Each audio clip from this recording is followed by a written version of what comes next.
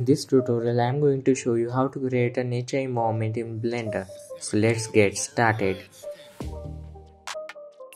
So for creating the assets you have to come into my channel and go into the videos section and watch my two tutorials on which I showed you how to create grass and trees and if you don't want to create assets by your own you may can download the assets from the link given in the description for free so for creating the nature environment. We have to create a landscape. You just have to download the nature assets from the link given in the description and open the blender. You will have this type of interference and you have to add a camera there and you have to make the camera like this so that it will cover all the tree area and the tree will be look lot behind just like that. And now we'll move the camera to down a little bit in the z-axis and we'll do some subdivision on it.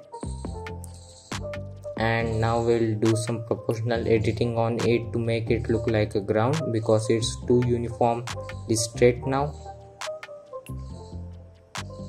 You just have to do some changes not so many changes that that it will not look realistic. And we'll do some sculpting and we'll smooth it a little bit because I have done many changes. It was not looking realistic. And now you will have to UV unwrap it because we have to shade it.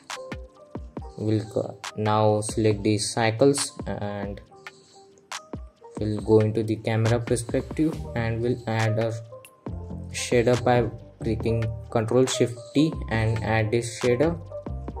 You have to just select the Principled BSDF and press ctrl shift plus shift plus t. For getting that result you have to enable an add-on called node wrangler add-on. Without that you can press just control plus shift plus t and add those all the texture. You have to scale up the uvs a little bit so that it will look quite realistic after scaling up a little bit. And you have to watch does it looking good in my perspective? And after you have satisfied you have to come into the layout and we have to add now the grass. For that we'll add a weight paint layer so that the grass will scatter along the perspective of the camera and it will not take much memory for rendering it. Just like that and add some weight paint layer to it as you wish and it is not compulsory that you just have to add it. If you don't want to add it you can not add it but i'll but you can add it.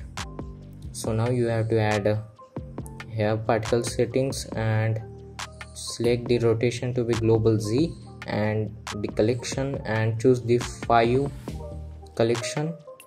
I have renamed the grass as grass collection as the file and if you are using your own asset created from my tutorial then you have to select that. And we'll add the vertex group which we have created. Now just like that. And now we have to scatter that but the grass is now not scattered only on the camera perspective hence we'll subtract some weight paint which is outside the camera perspective area. And now we'll watch the, the radar settings how it's looking. First i will choose the gpu computer in the cycles tab because i have a gpu and will add a environment texture. I have posted the link in the description to download the environment which i am using. Its name is Chinese Garden HDRI and we'll do some changes in the shading of the HDRI and here also you have to make sure that you have enabled the node wrangler add-on and press ctrl T not control plus shift plus T but control T. And do some changes in the rotation. You have to just play along which lighting source you have seen just by changing it into the x-axis y-axis and z-axis like that. And you have to just do that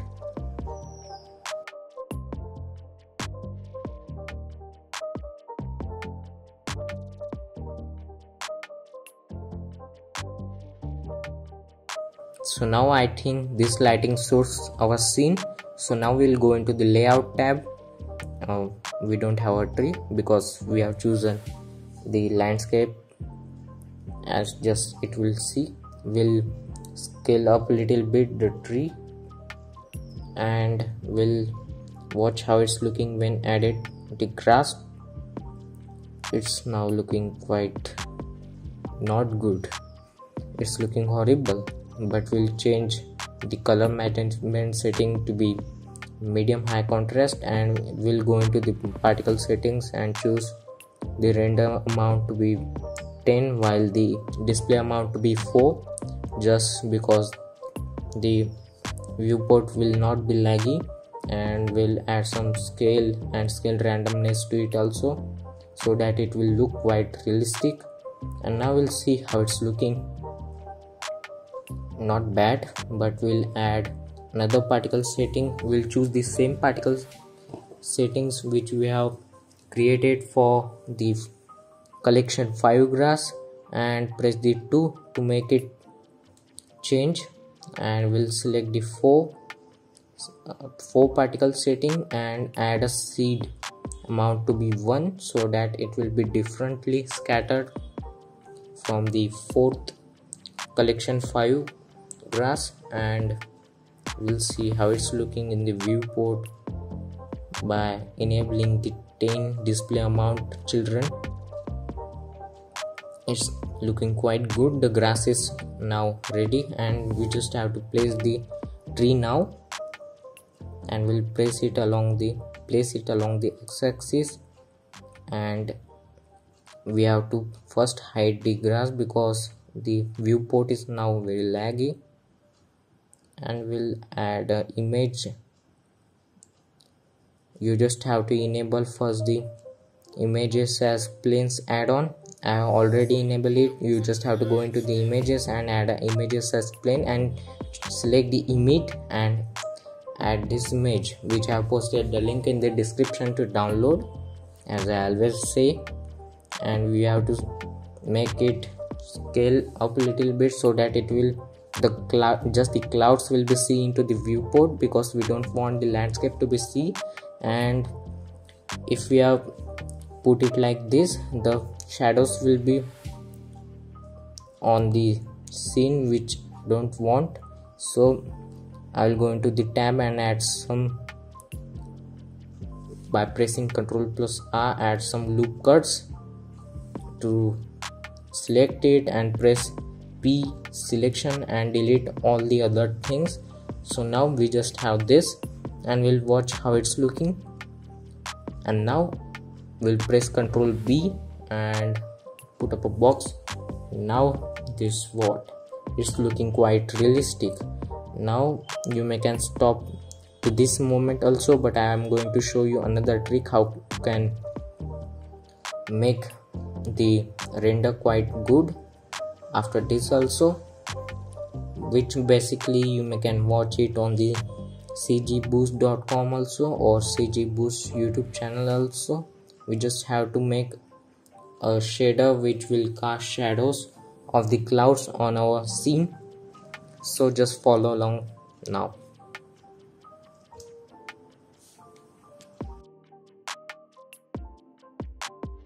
So now we'll create a shader which will cast our cloud shadows on the scene using the plane. You just have to come into the shading tab and add noise texture and follow my steps which I added. You have to watch it how it's looking in the material tab and we'll scale it down up as per your choice and we'll add a color ramp it to it and we'll make the factor to the alpha. I'm not pretty sure that how it works. It should be transparent. We'll do some tweakings. How it's looking. We'll watch. It's not transparent. I think we should plug in the color to the alpha. Yeah here we go. All right so we have achieved that and now you can see the shadows are falling onto our ground. You may can tweak it using the color ramp and the noise texture. And the scene is almost complete. Now we'll do render to it. Just by going into the layout we'll see first how it's looking in the render mode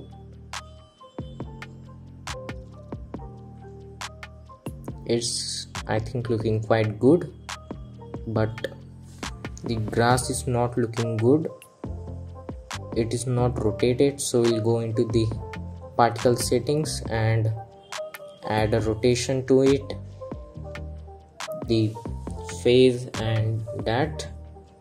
And now the grass is looking quite realistic because the grass is not just at the rotated at the one place but it's rotated differently every grass blade.